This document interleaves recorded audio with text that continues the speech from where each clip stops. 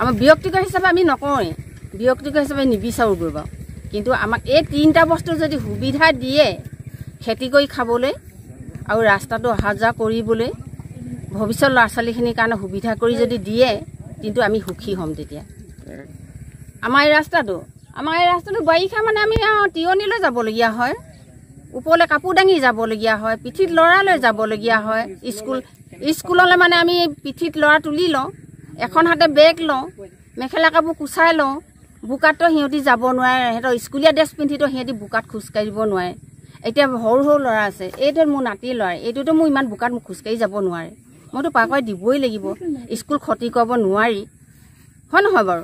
সেইকাৰণে আমি মানে বিধায়কক যে মানে প্ৰত্যেকবাৰে আমি এই কথাটো অনুৰোধ কৰিছিলোঁ কিন্তু তেওঁ এতিয়া শেষ হ'ব হ'ল।